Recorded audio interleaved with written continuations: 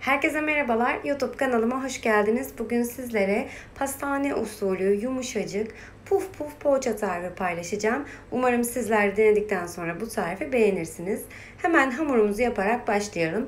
Ee, burada 7 su bardağına yakın un ekledim. Ee, ben sürekli kullanmış olduğum ölçülerle yapacağım için ne kadar un gideceğini biliyorum. Sizler e, ilk etapta şöyle 5-6 su bardağı kadar unu alın. Daha sonra e, hamurun kıvamına göre un eklemeye devam edin. 1 su bardağı ılık sütü ve 1 su bardağı ılık suyu ekliyorum. Suyun ve sütün e, mayayı eritecek kıvamda olması yeterli. 3 yemek kaşığı kadar toz şeker ekliyorum. 1 paket kuru maya ekliyorum. Ve mayanın içerisinde şöyle bir 3-4 dakika erimesini bekliyorum. Maya eridikten sonra içerisine kalan malzemeleri ekleyeceğim. 1 su bardağı e, sıvı yağ ekliyorum ve burada 1,5 tatlı kaşığı da tuz var. Sıvı yağını da ekliyorum. Bu arada bir tane de yumurta akı eklemeye unutmayın.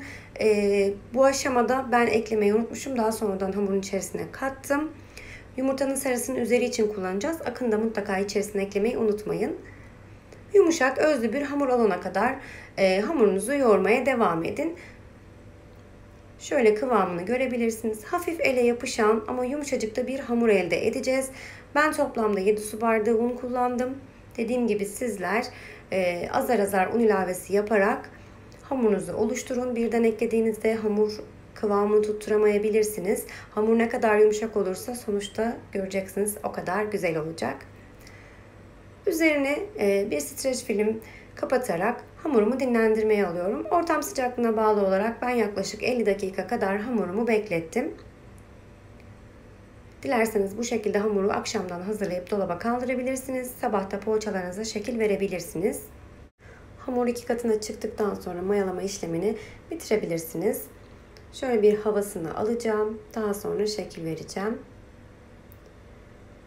Hamur gerçekten çok güzel bir şekilde mayalanmış ve kıvamı çok güzel. İnsanın şöyle e, yoğurdukça yoğurası geliyor. Hemen toparlayacağım ve mandalina büyüklüğünde bezeler hazırlayacağım kenara alacağım. Bu aşamadan sonra tekrar tekrar e, bekletmeye gerek yok. Zaten bu aşamaları yaparken hamur da yeterince dinlenmiş oluyor. Sadece ilk etapta mayalandırmış olmanız yeterli. Bu yüzden de oldukça pratik bir poğaça tarifi. Hamurlarımı hazırladım. Hemen şekil verme işlemine geçiyorum. Ben iç malzemesini peynirli olarak hazırladım. Sizler dilediğiniz malzemelerle hamurunuzu e, poğaçanızı hazırlayabilirsiniz. İsterseniz içerisine biraz da maydanoz ekleyebilirsiniz. Ben olmadığı için eklemedim. Hamuru hiç elinizle açmadan ortasını elinizin ayasıyla şöyle bastırdıktan sonra çukur olan kısma peynirli iç harçtan ekledikten sonra yine aynı şekilde üzerini bastırıp kenara alıyoruz. Ben lor peyniri kullandım bu arada. Sizler kaşar peyniri ya da kahvaltılık taze e, peynir de kullanabilirsiniz. Ama kaşar peyniri içerisinde eriyip akacağı için e, ben lor peyniri kullanmayı tercih ettim. Lor peynirini de kendimiz evde yaptığımız için e, kaşar peyniri gibi yağlı bir peynir oluyor. Sizler damak zevkinize göre içerisindeki malzemeleri ayarlayabilirsiniz. Hamurun o e, kabarmış olan yapısını bozmadan ortasını e, açtırdığınızda hamurunuz gayet güzel bir şekilde şekil alacaktır. Yapımı oldukça pratik ve vaktinizi çok fazla harcamayacağınız bir poğaça tarifi.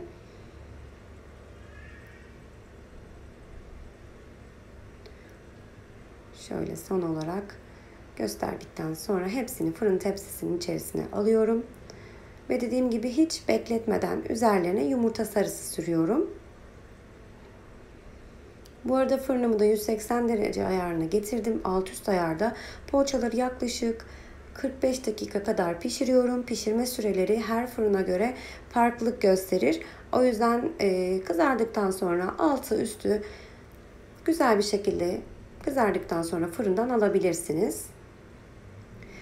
Bazen net süreler vermemizi istiyorsunuz ancak dediğim gibi her fırın farklı performans gösteriyor.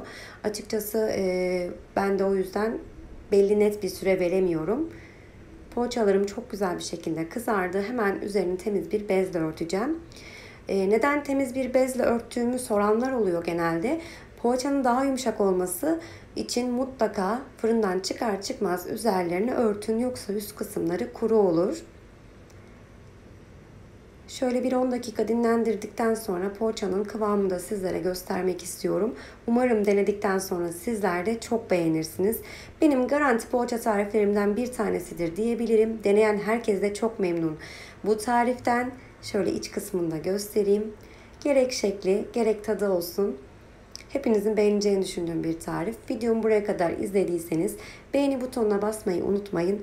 Ayrıca e, videom hakkındaki görüşlerinizi yorum kısmında benimle her zaman paylaşabilirsiniz.